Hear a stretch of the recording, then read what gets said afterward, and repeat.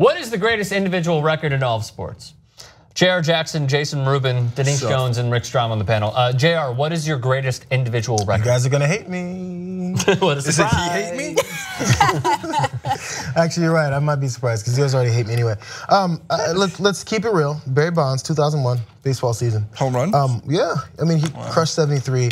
Uh, he's one of these. I remember watching this because I wasn't even watching baseball very closely this far back, but I remember watching when I the think we bases were loaded well. and they actually walked a man home to avoid pitching to this man. Seriously? And I was like, when does this happen? In the playoffs. it was amazing. Yeah. So, um, and yes, I know the first comments will be, but he juiced, fucking cheater. How can you say such a thing? You know who was cheating in this era? of Everybody. Yeah, true. Everyone was cheating. The entire Mariners No. organization, Should we even the up that Barry. Bonds graphic, by the way? There's rumors that JR's the coaches to? were juicing in, in Seattle. Like I'm not not just the Wait, players, say that the again? coaches were juicing in Seattle. There was rumors of that. Like, come on. means like There it is. Tropicana.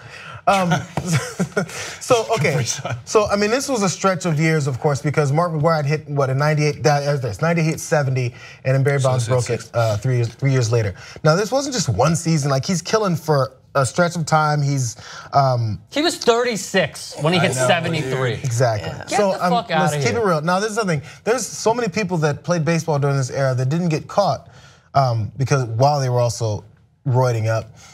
It doesn't. I, I've always had this argument. Just because everyone didn't get caught doesn't mean nearly everyone wasn't doing. it. I hate to make the generalization. that everyone was Seventy-five percent of the MLB was juicing. Yes. And just because some of these uh, middle relief pitchers, some of these closers couldn't fucking hack it, even though they were juicing, doesn't mean it wasn't happening. So let's go ahead and get all this out of the way. Say we had this this this uh, lack of judgment, or maybe is what they wanted during this era of baseball to bring it back up, to bring attention to it, and you allowed it to happen. Uh, go ahead and let him have his props for taking advantage, being the one to take the most advantage of this era of uh, roiding and let him give give him his due. The dude won. By the way, I'm a huge Dodgers fan, and we all know about Dodgers Giants. Hated dude, but he did what he did, and we allowed it to happen. That was an amazing year. Jesus, what's the greatest individual record in sports? Can you hear? You can't hear. He can hear you. Just He wave. can definitely hear. Well, that does. Dude, he he's waved. Jesus. He's Jesus. Greatest individual record in sports. So for Jesus, that's baseball, and he's probably gonna be like Cody Bellinger. So yeah, so if, Got like if Jesus just walked It's gonna be- in, the greatest individual record that Jayar said was Bonds hitting 73. home runs.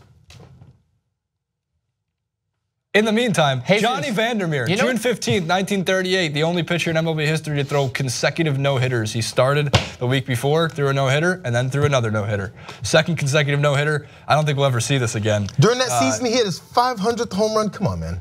He's still on the home run. I'm just saying. I'm reading the whole Greatest season. individual record. It's like four games in two days. Remember? Yeah, that's amazing. 1938, guys. Like Can we throw up that graphic again? 1938, man. It's never time, happening. Not happening that, that's again. never happening. And neither is the 56 games um, hit streak by um. DiMaggio. There you go. That's hard. I think someone could hit 400. that- I think someone could bat 400 though. Is that your pick?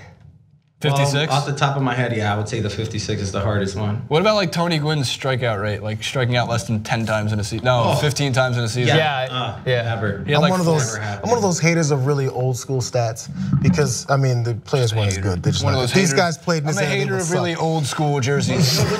You know, hey, actually, you know which one else? Iron Man. Nobody's ever. Cal gonna Ripken break- Jr.? Cal Ripken Oh, yeah. Jr. Never. Consecutive Never. games played. Robert Downey Jr. I agree. Yes. Exactly. Unfair advantage. That dude was flying. He's he was flying. Richard. Is that what you said? That's amazing. literally. All right. Thank Uh, you, Jesus.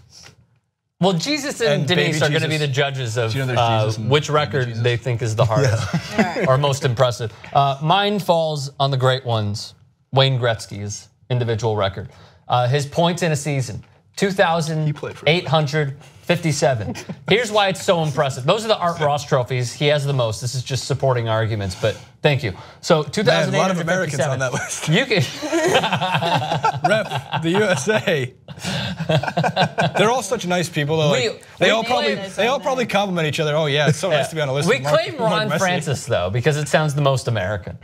So you could Ron take away Francis all the goals that he has had, he would still be number one. I thought Esposito had a shot at being American. Esposito. He has that many points. That's so many points.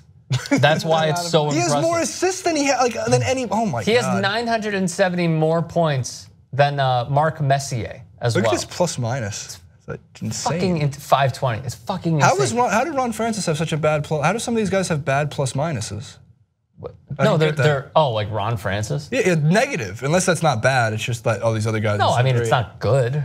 And compare that's you know you're making my point even further. A guy who's in the top 10 for points all time has a negative plus minus while Gretzky is plus 520 when he was on the ice. Fun stat, uh, I was born on September 4th, 1991. Yamir Jagr made his NHL debut in March of 1991. That's He's been playing in the NHL longer than I have been alive because he's still playing. All right, most impressive record. Jesus and uh, Denise are the judges. Denise Jones. Out of the three of us. Well, technically, Jesus has a horse in the race. Johnny Vander Meer, back-to-back Oh, no-hitters in was okay. 1930. Back-to-back thought no that was something hitters. Jesus brought up. In 1938, Barry Bonds, 73 home runs, Wayne Gretzky, Bob individual Gibson season. throwing like 13 straight complete games. I'm immediately. you Oh, know, Denise on was limit. going, Dick. Hockey here. I'm not even Yes, counting hockey, guy. Come on. We're talking real records here. And- Shout out Michael Schur. Okay. so Seriously. I take the baseball, all of them. They're the oh. greatest ones ever. All, my, all the baseball. Can I ask you a question, All Hey- the You best. Jesus? guys actually need to start wrapping up. Sorry, keeping it real. We do? Yeah, after they're, Jesus, they're over your Jesus- What's shooting at three? Why are you out of breath?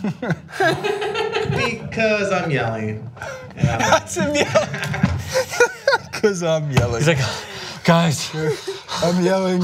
you want you got this? All right, Denise. Gretzky. Gretzky? Gretzky. Word.